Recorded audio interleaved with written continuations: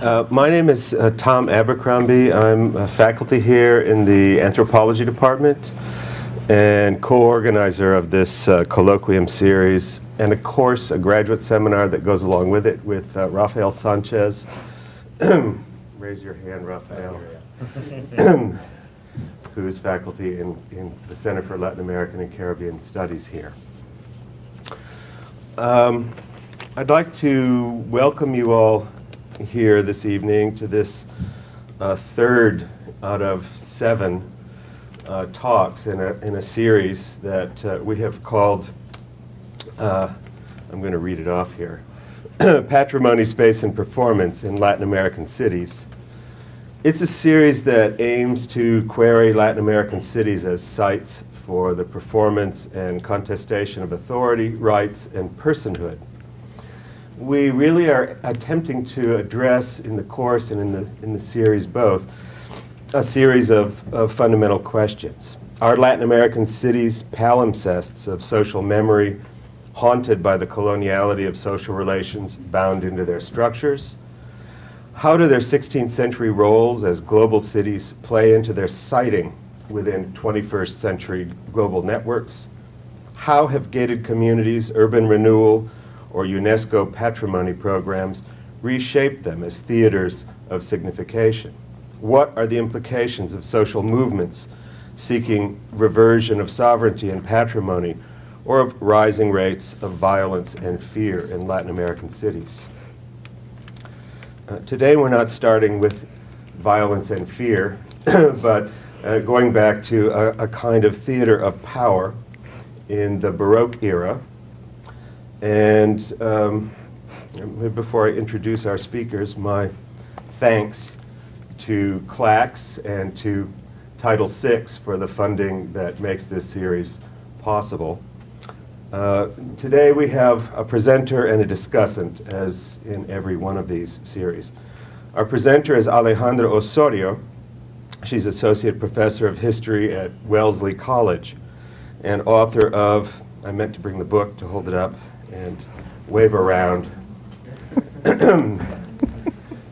for, for those of you who can afford this book, I hope your royalties are right. really good. They're not. But I'm guessing not, no um, a wonderful book uh, titled Inventing Lima Baroque Modernity in Peru's South Sea Metropolis, published by Palgrave Macmillan in 2008.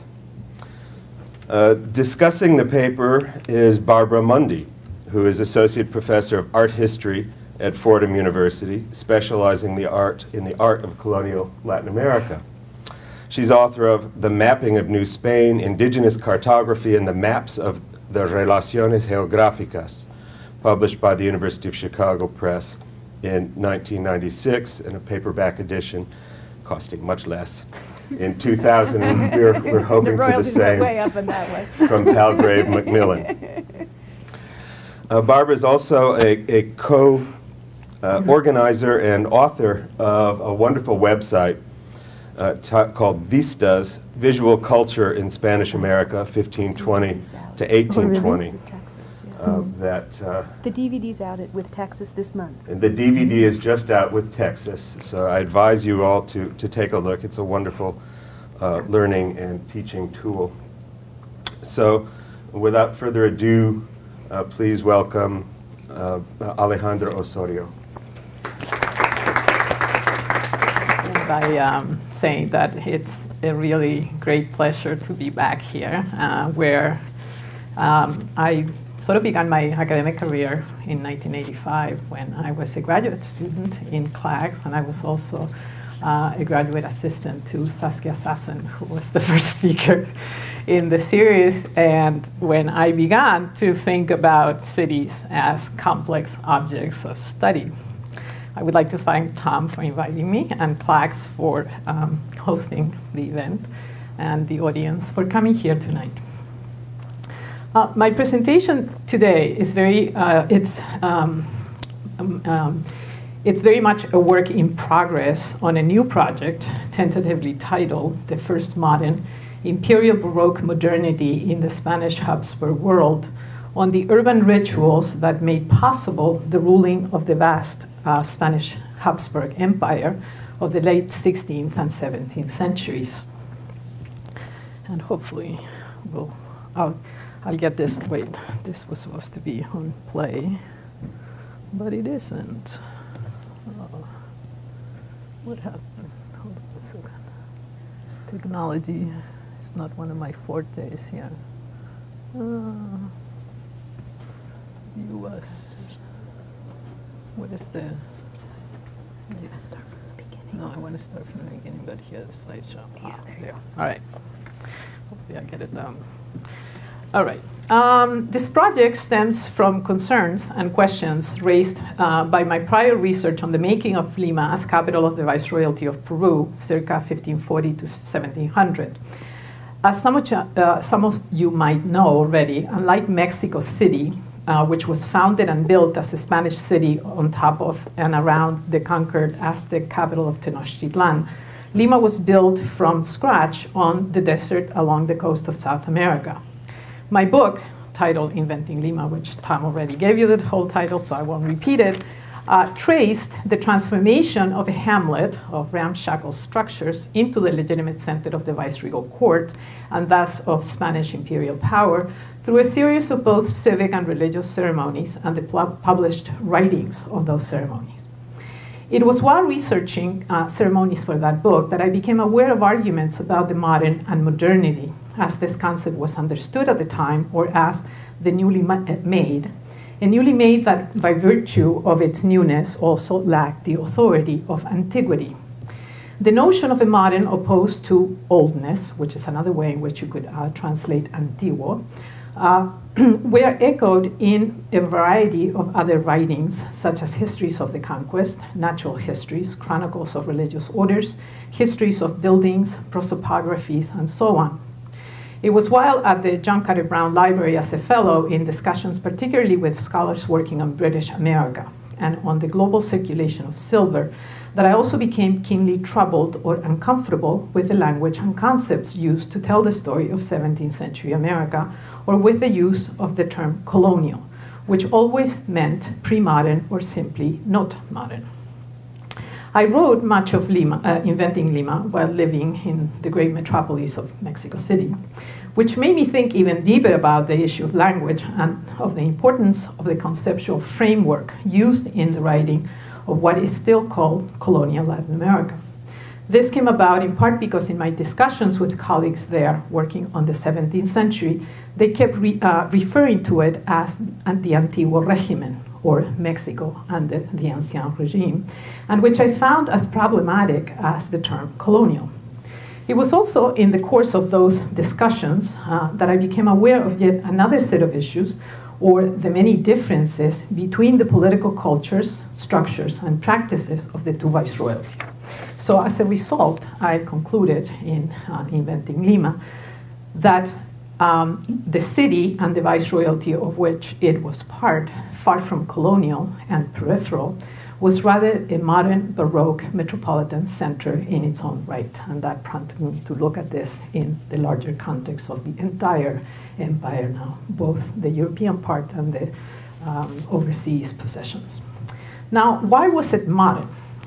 First, let me state perhaps the obvious that the discovery of the New World and the extension of the Holy Roman Empire to include these new possessions posed new and unprecedented challenges to existing forms of political rule in the Old World.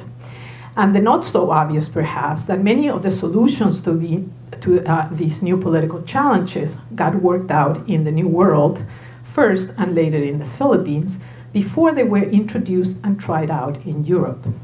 Among some such challenges, and a central issue for imperial monarchical rule was the concern of how to make the king present everywhere, all the time, and accessible to a variety of different audiences worldwide. This problem necessitated new technologies of rulership on many levels. I see this period as modern because of several changes that, in many ways, are still with us today. First, let me just, I'll point out a few. Um, in the political sphere, Europe was undergoing a process of centralization of power, both ecclesiastical and secular. This centralization produced new geographies and spaces of power, not just in Europe, as one such space was that of the court, royal uh, in the case of Madrid and Paris, and viceregal in that of Naples, Lima, and Mexico. At the same time, there was a reconceptualization of the city, which reordered as well as redefined the urban and the rural, and you could argue that it invented those two terms, and their relationship. And also a redefinition of the city's role in this new political courtly culture. In the case of the Spanish Empire, the massive founding of cities um, began shortly after the discovery of the New World and later the relocation of indigenous populations into Indian towns. Uh, undertaken in the 1570s and known as reducciones, reflected this new urbanism based on the ancient but renewed concept of civitas, or the political life lived in cities.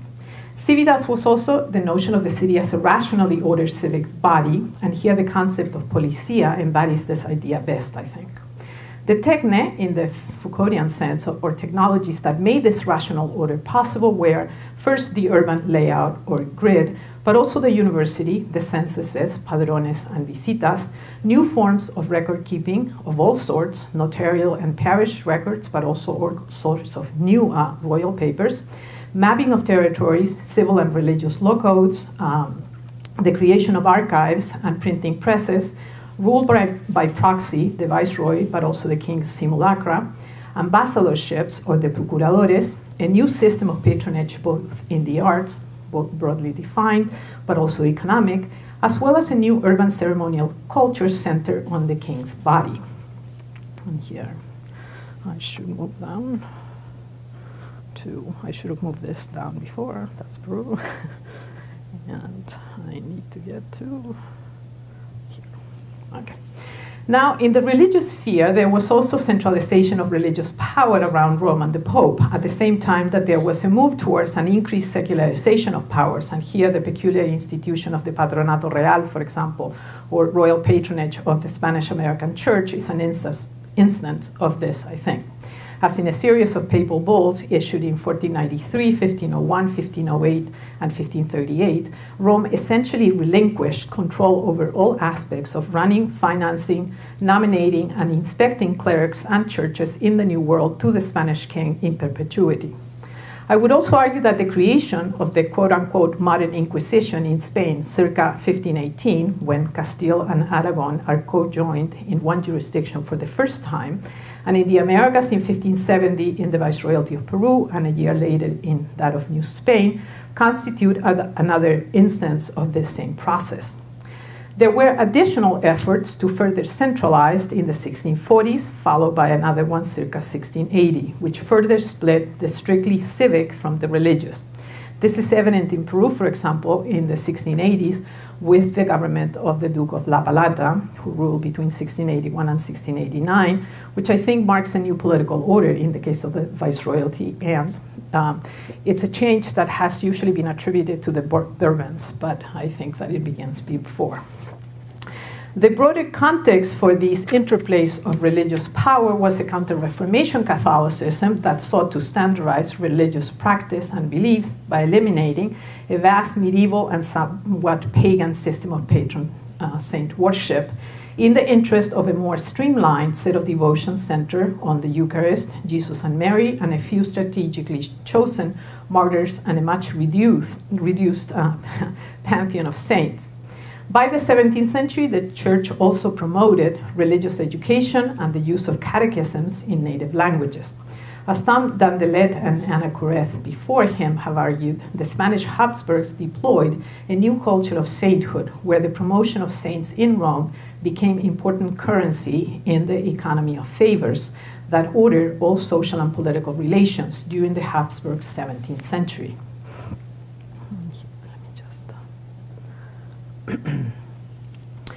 By the 17th century, there were also new systems of production and labor in place, such as the corvée labor or mita, for example, which serviced large scale mining, agriculture, textile manufacturing, and so on, and a new system of uh, commerce, exchange, and circulation of goods, and also new patterns of consumption. And this was not just in Europe, but also in the New World. By the 17th century, the world, pretty much as we know it today, was commercially integrated and very productive. This economic integration created um, a social revolution of sorts as it made possible new forms of social mobility and patterns of consumption. It also made products traditionally reserved for a very small uh, elite available well beyond its confines.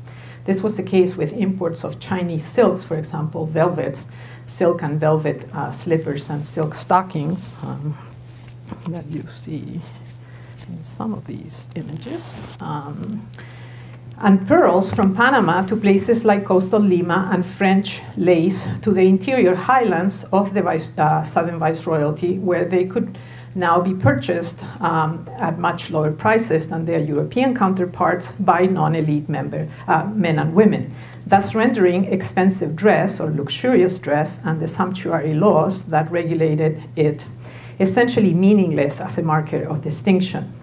This new economy and urban ceremonial culture not only created new desires for these products, but also new economic interests and elites, as David Studnicki has very ably uh, recently shown in his study of the Portuguese merchants under Spanish Habsburg rule.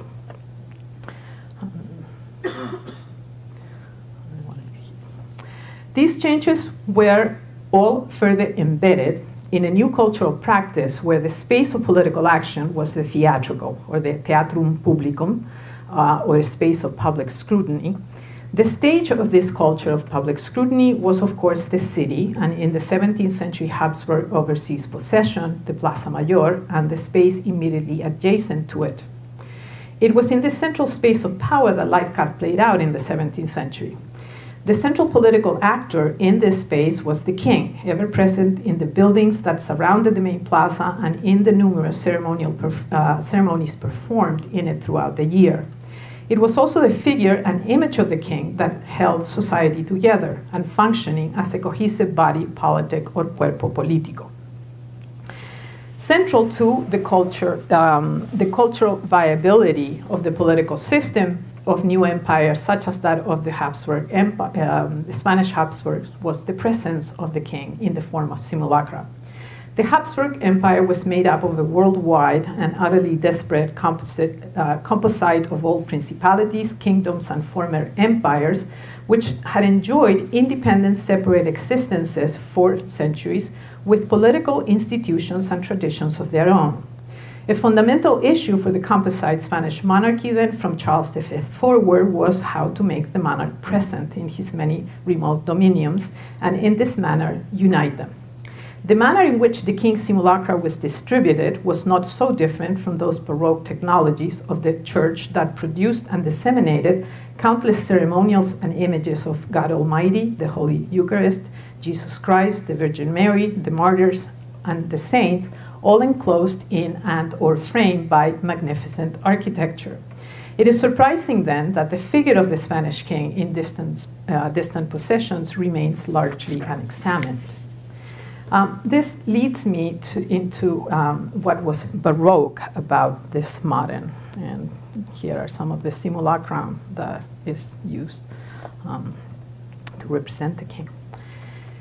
The Baroque was first introduced in the 19th century as a period concept in, the, in art history when it was uh, used primarily to focus on the morphological aspects of this art form. In literature, it was used to differentiate between the rhetorical and conceptual versions of the Baroque literature of the mid to late 17th century.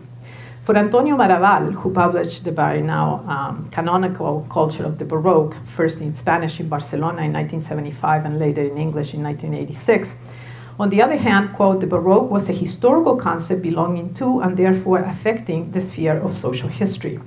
He defined it as, quote, a culture provoked by a social crisis of major proportions, which was felt in all of Europe and perhaps worse in Spain. The idea of a culture of the Baroque allowed Maravall to extend the notion of crisis beyond the realm of pure economics into the broader realm of um, the changing character of culture, history, and social life, taking place in the 17th century. More importantly, for my purposes, in Maravall's view, the Baroque culture of the 17th century was urban, guided from above, responsible for creating a mass culture, and finally, a conservative one. He found that um, he found that it was the perception of crisis and instability uh, found among the groups of power and those of the middle strata of society who identify with them that brought about the political program of the Baroque around 1600. The Baroque then was a culture of reaction, reaction against the mobility and change that for much of the 16th century had threatened to erode the hierarchical construction, construction of estates or estados. In Spain, this was, according to Maravall, a contrived and manipulated culture for the benefit of the monarchy and its nobility as a way to deal with the changes that seemed to turn their world upside down thus promoting the development of techniques to captivate minds and neutralize individual potential dissenters in the cities. In this argument, and some of his, um, in his arguments and some of his followers, this captivation of, of the mind was achieved through terror, as with the Inquisition, as well as more benign forms of control such as the theater, sermons, and emblematic literature, all geared towards causing admiration and suspense, but also by the use of firework, fountains, and the ever present fiesta.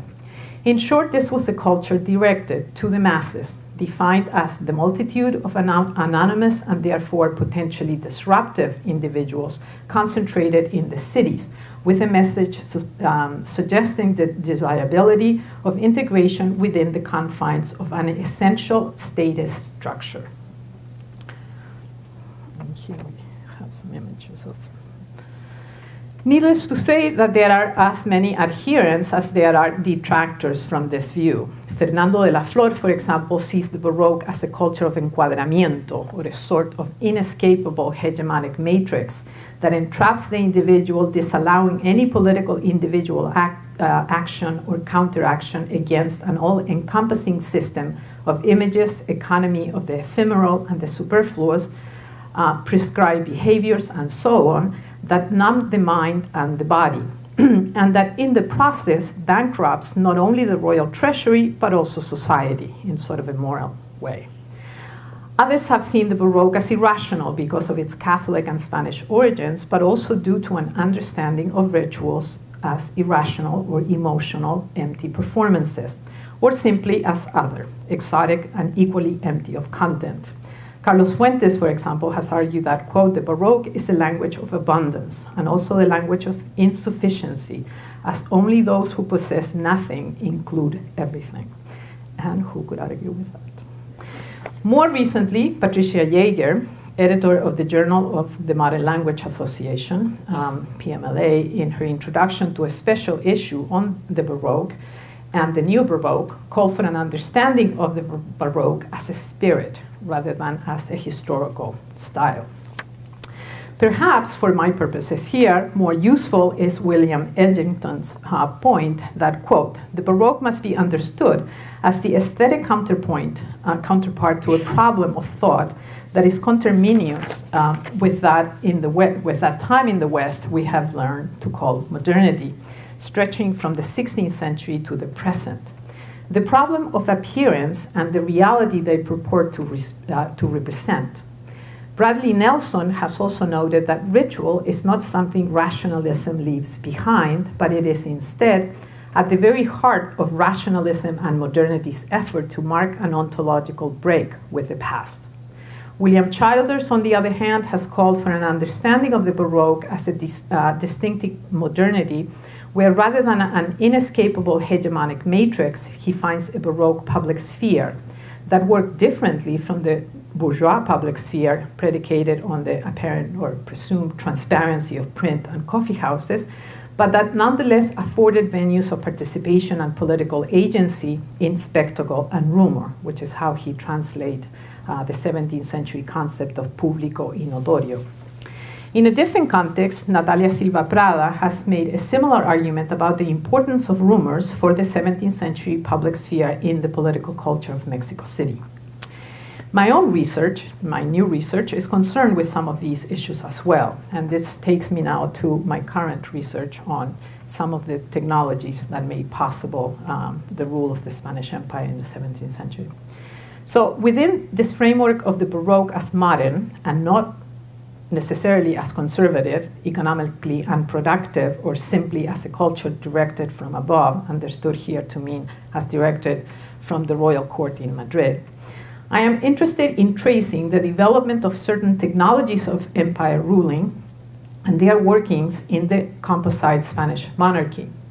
One such technology is the archive, as bo both a, as a symbolic and material space for the safekeeping of certain kinds of printed materials and their role in the creation of a historical memory as well as the uh, constitution of an orderly republic or civitas. And here, I should say from the outset that I'm not interested in not the, the notaries or you know, the notarial records. I'm, I'm interested in, in, in, in, sort of the space of the archive as a symbolic uh, space, not, not how it worked necessarily uh, internally. And another uh, technology is the use of the royal simulacra in urban ceremonies and the way in which these two work in the creation of an urban imperial geography of power.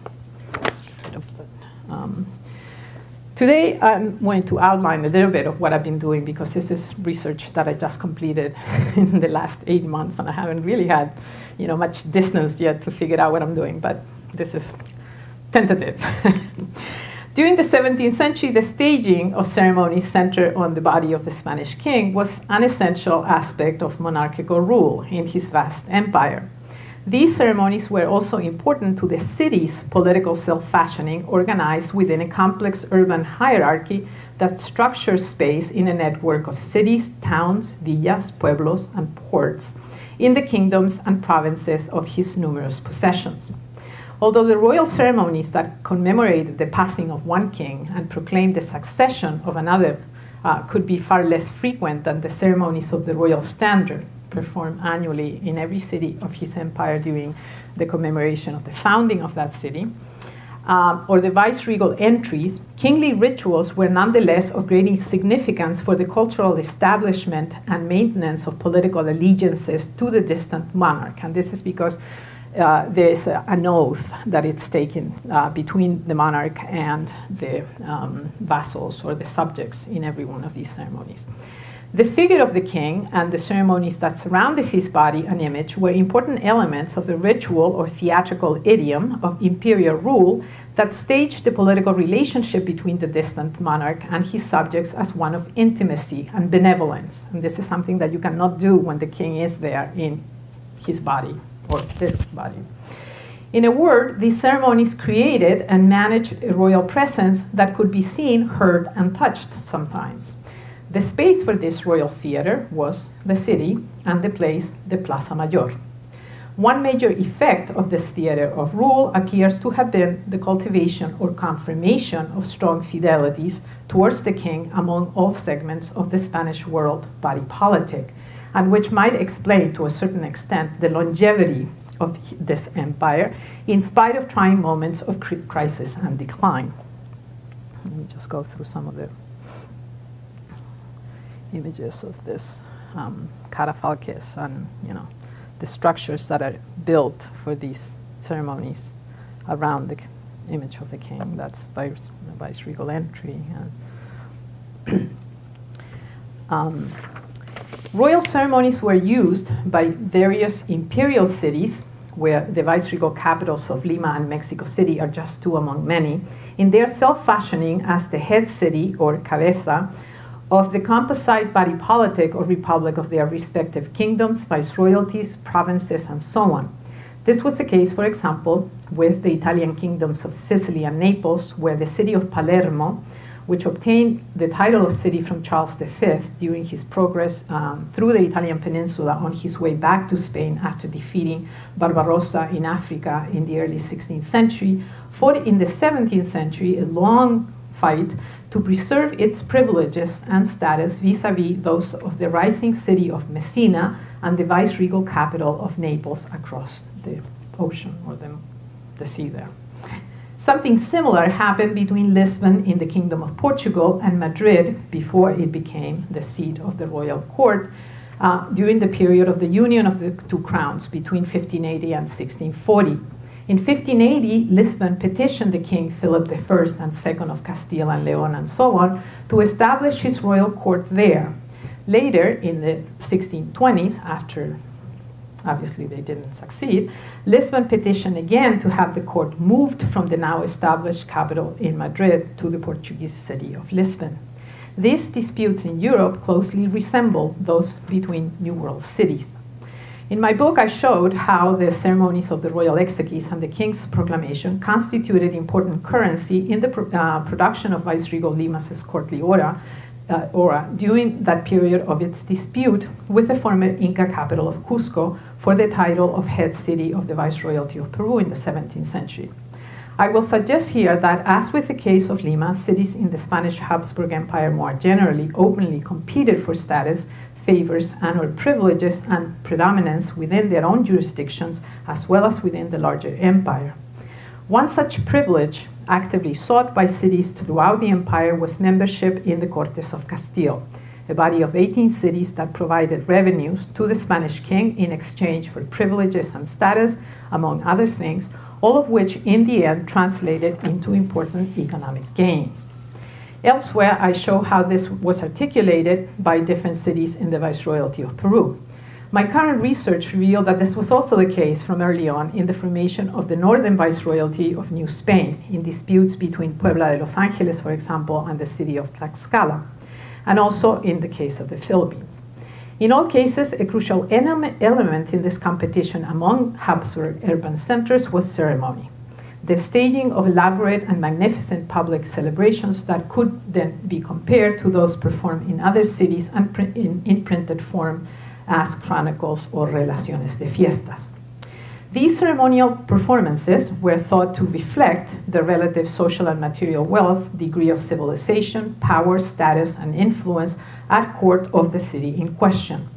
These points were very clearly articulated by the author of the Relación of the Proclamation of Philip V, celebrated in Manila in 1712, where the chronicler argued that the narrative of his account would serve not only to educate readers about this distant possession, at the same time that it would also dispel any ideas they might have about the Philippines as backward and barbaric. The chronicler explicitly addressed those readers, quote, who might not have news of the city of Manila, of its greatness, authority, control, breadth and wealth and power, and who might also conceive of the cities and populations of the Indies and of the Philippines as simple and poor, and filled with huts in, inhabited only by barbarians and ignorant men whose livelihood depends on eating human flesh and who still have the blood of that flesh spilling out from their lips and running down their faces, and who take pleasure in the performances of such cruel and horrendous carnage. He hoped that reading, quote, this truthful and short relation of the elaborate ceremonies performed for the king and the descriptions of the city in which they were performed would serve as correctives to this gross misunderstanding as well as uh, testimony of the love and loyalty to the king. It's a beautiful document. The privileged space the, for these performances in Manila, as in the New World, was the Plaza Mayor.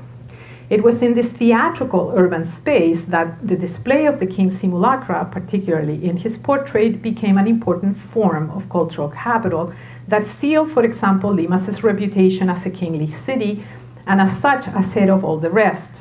By the close of the 17th century, Limas's royal ceremonial life, for example, had successfully established the city of the kings, as it was then known, uh, as both the indisputable center of legitimate imperial power in the Viceroyalty of Peru and as one of the great cities within the larger empire. Something similar seems to have happened with cities in New Spain, the Philippines, within Spain, and also in Italy.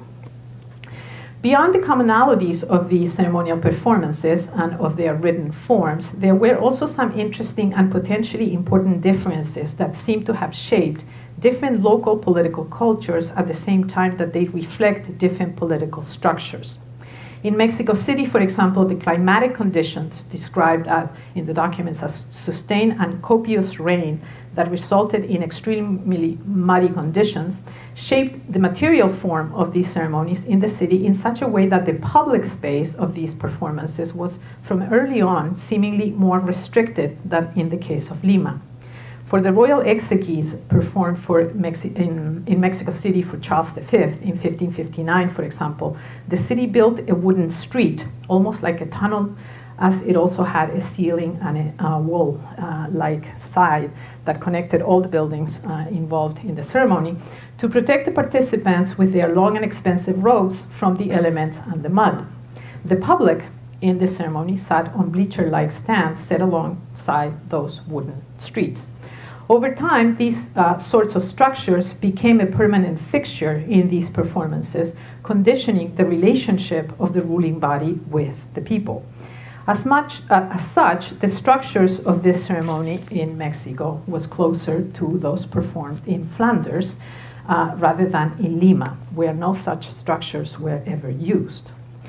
Another difference, uh, potentially related to this one in its consequences, was the fact that unlike Lima, where the viceroy was not present in the royal ceremonies of the exequies and proclamations in the 17th century, because they coincided with interim governments of the Audiencia Real, in Mexico City, the viceroy was always present, as was his wife, the vicereine who also played a very central role during the public condolences paid by the different official bodies of the viceroyalty before the royal funeral.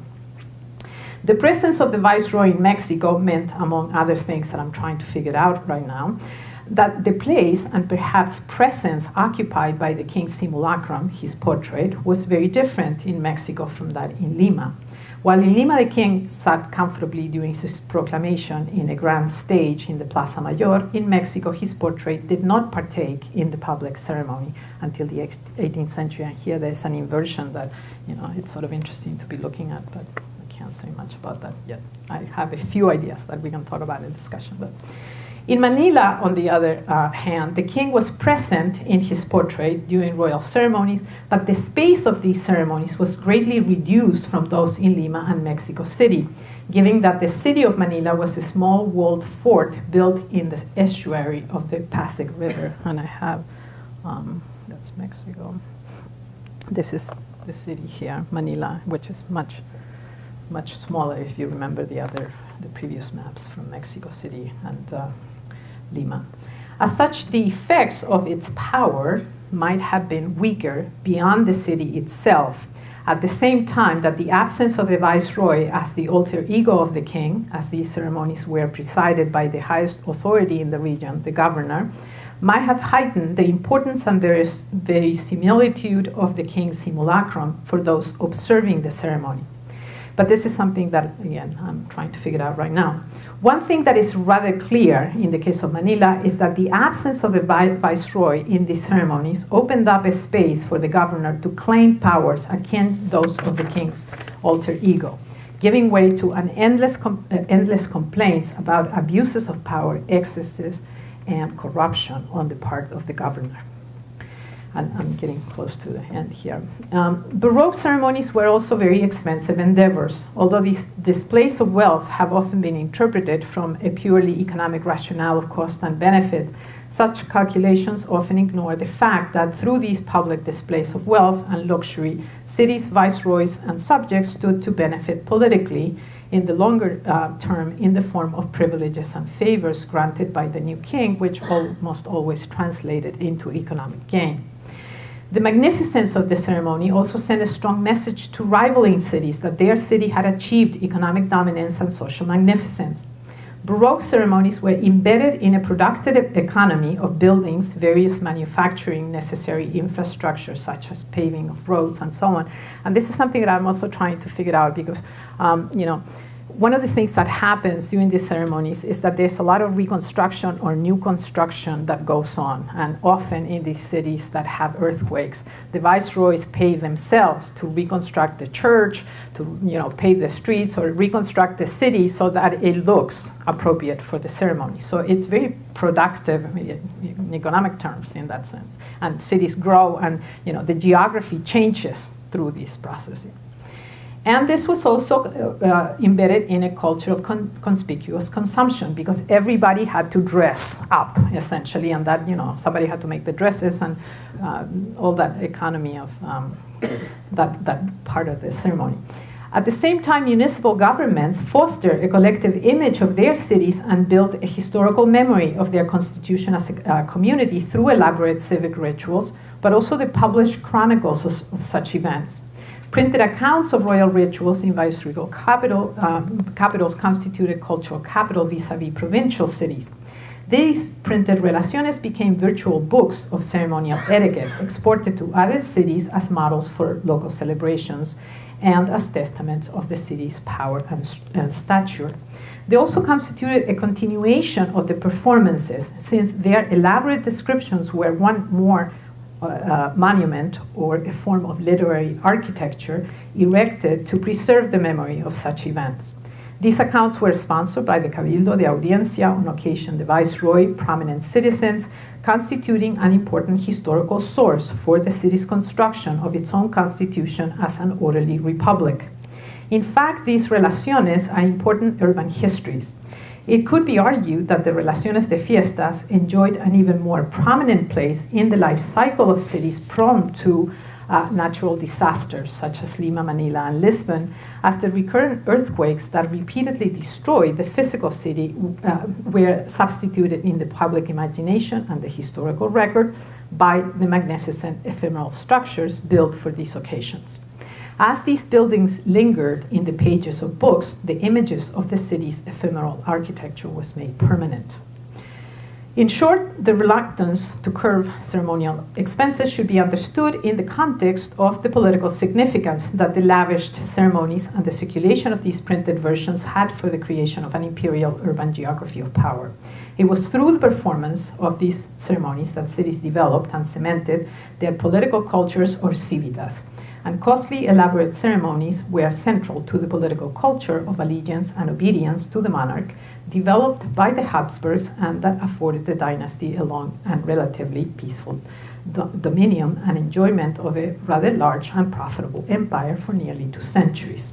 Now, to end, Roland Greene has argued that while the Baroque emanated from Europe, it got constituted in the New World. As first conceived, the Baroque not only spanned the world that radiated outwards from Europe, from Sicily to Mexico City to Macau, but operated as one of the original cultural idioms across this world, bringing these forms and ideas back to Europe. Serge Gruzinski has made a similar argument about the Baroque as a mestizo cultural, um, cultural form that took and incorporated different elements that then traveled around the world. Jesus Escobar, in his study of the Plaza Mayor in Madrid in the mid 17th century, has noted the influence of Hernan Cortes's description of the plaza and temple of Tenochtitlan in the urban designs and concepts of urban order in this most Habsburg of monuments and cities, as well as on the urban reforms that govern the um, redesign and rebuilding of new cities and plazas throughout the Iberian Peninsula and other parts of Europe after the discovery and conquest of the mainland. Um, a similar argument has been made by Setha Low, and my own earlier work showed how what could be loosely termed a European cultural grammar or Baroque ceremonial got reworked and or reinvented in the viceregal context of Lima and beyond.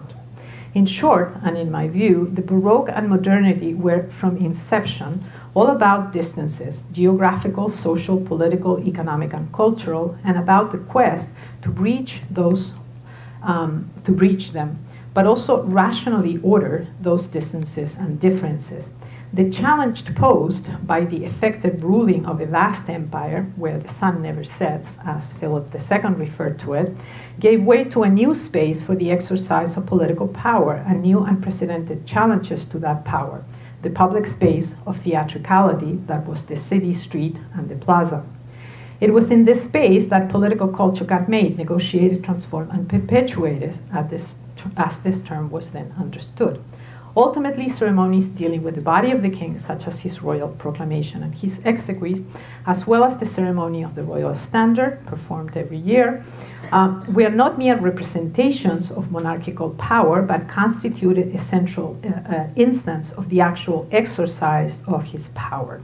In other words, the Baroque spectacle did not create an alternative medium, it was rather the medium in which political and social and cultural issues got played out, contested, transformed, and cemented in practice, all of which was then newly made. Thank you. Let me just finish my I just want to end with one image there. I can leave it there. Thanks.